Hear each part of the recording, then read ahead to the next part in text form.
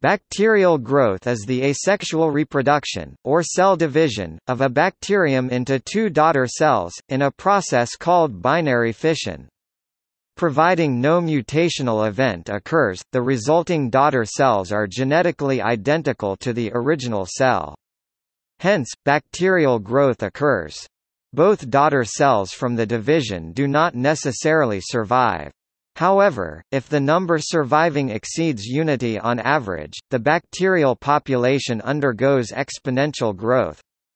The measurement of an exponential bacterial growth curve in batch culture was traditionally a part of the training of all microbiologists. The basic means requires bacterial enumeration, cell counting by direct and individual microscopic flow cytometry, direct and bulk biomass, indirect and individual colony counting, or indirect and bulk most probable number, turbidity, nutrient uptake methods.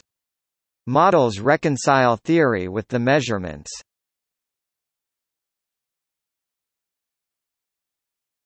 Topic: Phases.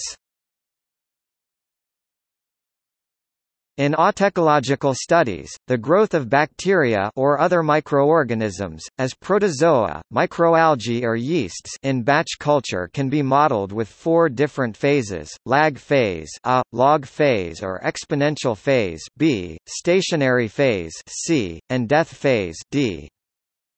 During lag phase, bacteria adapt themselves to growth conditions. It is the period where the individual bacteria are maturing and not yet able to divide. During the lag phase of the bacterial growth cycle, synthesis of RNA, enzymes and other molecules occurs. During the lag phase cells change very little because the cells do not immediately reproduce in a new medium. This period of little to no cell division is called the lag phase and can last for one hour to several days. During this phase cells are not dormant. The log phase sometimes called the logarithmic phase or the exponential phase is a period characterized by cell doubling. The number of new bacteria appearing per unit time is proportional to the present population. If growth is not limited, doubling will continue at a constant rate so both the number of cells and the rate of population increase doubles with each consecutive time period. For this type of exponential growth, plotting the natural logarithm of cell number against time produces a straight line. The slope of this line is the specific growth rate of the organism, which is a measure of the number of divisions per cell per unit time. The actual rate of this growth i.e. the slope of the line in the figure depends upon the growth conditions, which affect the frequency of cell division events and the probability of both daughter cells surviving. Under controlled conditions, cyanobacteria can double their population four times a day and then they can triple their population. Exponential growth cannot continue indefinitely, however, because the medium is soon depleted of nutrients and enriched with wastes.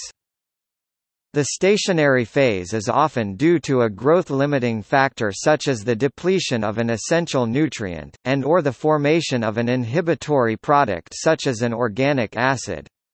Stationary phase results from a situation in which growth rate and death rate are equal.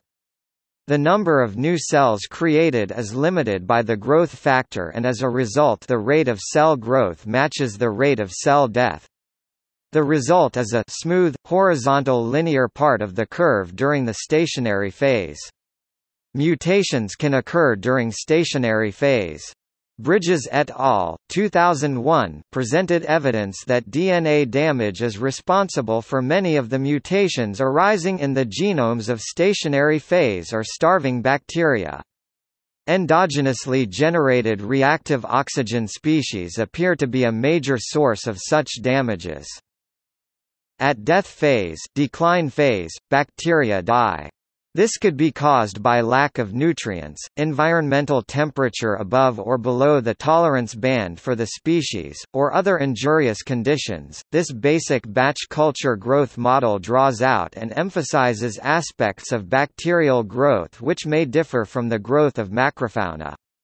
It emphasizes clonality, asexual binary division, the short development time relative to replication itself, the seemingly low death rate, the need to move from a dormant state to a reproductive state or to condition the media, and finally, the tendency of lab-adapted strains to exhaust their nutrients. In reality, even in batch culture, the four phases are not well defined.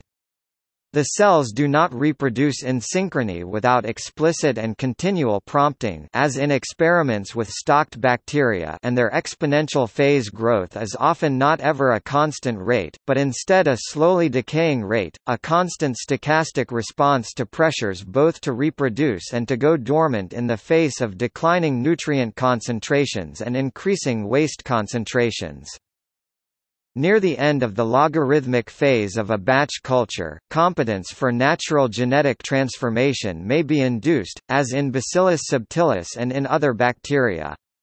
Natural genetic transformation is a form of DNA transfer that appears to be an adaptation for repairing DNA damages. Batch culture is the most common laboratory growth method in which bacterial growth is studied, but it is only one of many. It is ideally spatially unstructured and temporally structured. The bacterial culture is incubated in a closed vessel with a single batch of medium. In some experimental regimes, some of the bacterial culture is periodically removed and added to fresh sterile medium. In the extreme case, this leads to the continual renewal of the nutrients. This is a chemostat, also known as continuous culture. It is ideally spatially unstructured and temporally unstructured, in a steady state defined by the rates of nutrient supply and bacterial growth. In comparison to batch culture, bacteria are maintained in exponential growth phase, and the growth rate of the bacteria is known. Related devices include turbidostats and auxostats. When Escherichia coli is growing very slowly with a doubling time of 16 hours in a chemostat most cells have a single chromosome, bacterial growth can be suppressed with bacteriostats, without necessarily killing the bacteria. In a synecological, true-to-nature situation in which more than one bacterial species is present, the growth of microbes is more dynamic and continual. Liquid is not the only laboratory environment for bacterial growth. Spatially structured environments such as biofilms or agar surfaces present additional complex growth models.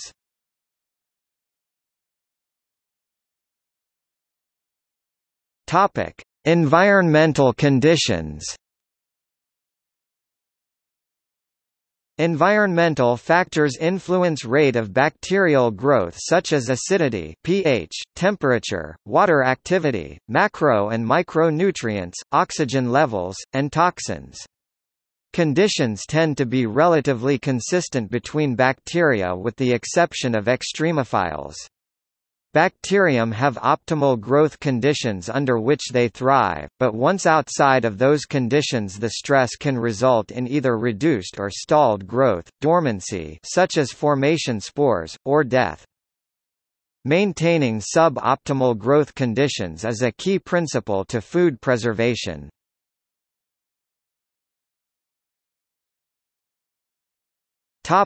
Temperature Low temperatures tend to reduce growth rates which has led to refrigeration being instrumental in food preservation.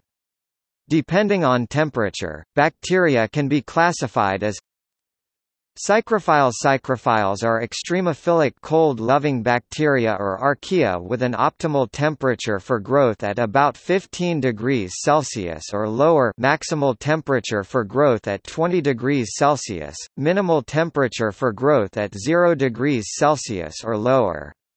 Psychrophiles are typically found in Earth's extremely cold ecosystems, such as polar ice cap regions, permafrost, polar surface, and deep oceans. Mesophiles Mesophiles are bacteria that thrive at moderate temperatures, growing best between 20 degrees and 45 degrees Celsius. These temperatures align with the natural body temperatures of humans, which is why many human pathogens are mesophiles. Thermophile survive under temperatures of 45 degrees to 60 degrees Celsius. Topic: Acidity. Optimal acidity for bacteria tends to be around pH 6.5 to 7.0 with the exception of acidophiles. Some bacteria can change the pH such as by excreting acid resulting in suboptimal conditions.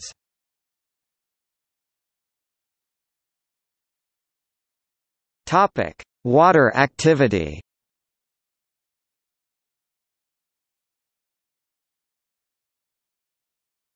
Topic: Oxygen.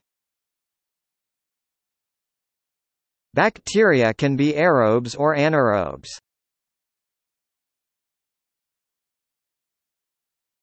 Topic: Micronutrients. Ample nutrients. Topic: Toxins. Toxins such as ethanol can hinder or kill bacterial growth. This is used beneficially for disinfection and in food preservation.